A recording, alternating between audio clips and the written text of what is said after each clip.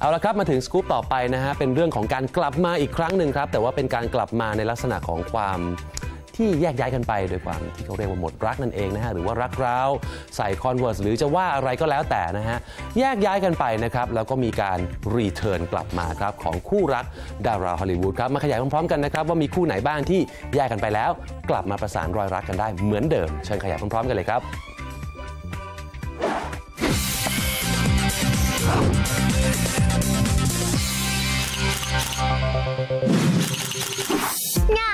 อบรรดาแฟนคลับถึงกับกรี๊ดยกผู้เชียร์กันสุดฤทธิ์สำหรับข่าวคราวการคืนดีกันของคู่รักขวัญใจแฟนทั่วโลก ของพระเอกหนุ่มสุดหล่อเจ้าเสน่ห์ออร์แลนโดบลูม กับนางแบบสาวสุดเซ็กซี่มิรันดาเคอร์ที่ตอนนี้กระแสข่าวเม้าท์ข่าวลือมาอย่างหนาหูว่า หัวใจของทั้งคู่กลับมา spark กันอีกครั้ง คู่ได้ออกมาจากงานปาร์ตี้ในช่วงเวลาที่ไล่เลี่ยกันอีกต่างหากค่ะพอแฟนคลับของทั้งคู่ได้ทราบข่าวนี้ก็อดที่จะแอบหวังอยู่ลึกๆไม่ได้ว่า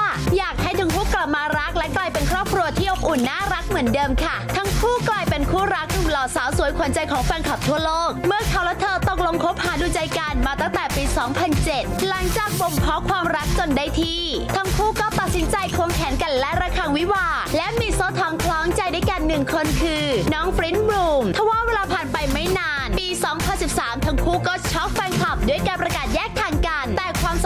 ทั้งคู่ก็ยังคงเป็นเพื่อนที่ดีต่อกัน ทั้งคู่ยังคงได้พบเจอกันบ่อยๆ เพื่อร่วมกันเลี้ยงลูกชายที่ดูเหมือนว่าจะเป็นกรรมเทพตัวน้อยคอยเป็นกาวใจ และสมานความรู้สึกของทั้งคู่ให้กลับมารักกันอีกครั้งค่ะ เห็นความรักชื่นมื่นของคนบันเทิงฮอลลีวูดที่ถ่ายไฟเก่า กลับมาคุกรุ่นอีกครั้งแบบนี้ วันนี้เราเลยขอรวบรวมความรักพันผวนของคู่รักอื่นๆ มาให้แฟนรายการได้ชมกันค่ะ ส่วนจะมีคู่ไหนกันบ้างไปติดตามชมกันเลยค่ะ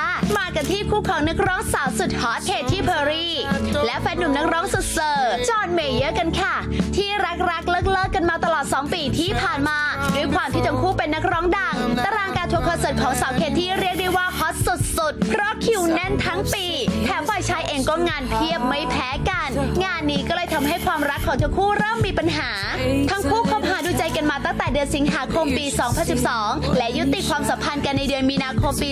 2013 จากนั้นทั้งคู่ก็แอบกลับมาคบหากันอีกครั้ง แต่ก็ไปไม่รอดต้องสวม Converse แยกทางกันเมื่อเดือนกุมภาพันธ์ปีที่แล้วค่ะ ล่าสุดคู่รักนักร้องก็กลับมาสานสัมพันธ์กันเป็นรอบที่ 3 เมื่อช่วงต้นปีที่ผ่านมาท่ามกลางกระแสคำเตือนจากแฟนๆและคนรอบข้างของสาวเคที่ที่ดูจะไม่เห็นด้วยกับความรักครั้งนี้ แต่เธอก็เดินแคร์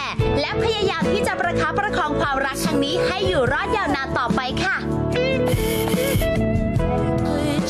และคู่รักรายล่าสุดที่เพิ่งมีข่าวลมพัดหว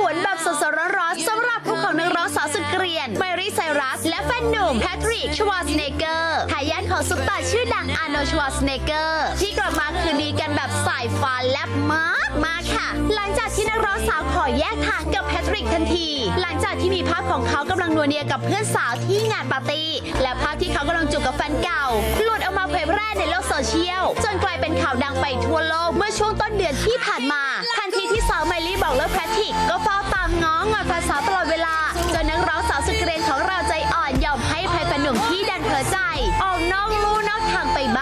งแต่งานนี้ก็คงเป็นสัญญาณเตือนให้กับหนุ่มแพทริกเหมือนกันคือว่า ถ้าเกิดมีข่าวทำนองนี้กลับมาอีกครั้ง รับรองเลยว่าสาวเมรี่จะไม่ลังเลใจที่ตัดเขาออกไปจากชีวิตทันทีเลยค่ะ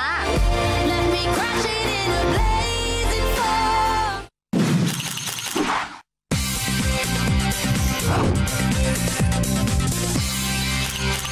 ชีวิตคู่ก็เป็นแบบนี้นะครับ ต่างคนต่างที่มานะครับ เติบโตมาในสภาพแวดล้อมที่แตกต่างกันไป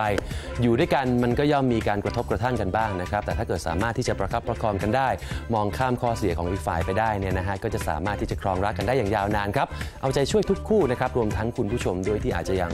กำลังมีปัญหาในเรื่องของหัวใจกันอยู่นะครับด้วยความปรารถนาดีจาก True Insider ครับเดี๋ยวแวะพักกันสักครู่ครับช่วงหน้าเดี๋ยวกลับมาอัปเดตความเคลื่อนไหวกันต่อครับกับเรื่องของการแยกทาง จะเป็นเรื่องของการแยกทางเกี่ยวกับอะไรนั้น สักครู่เดียวใน True Insider ครับ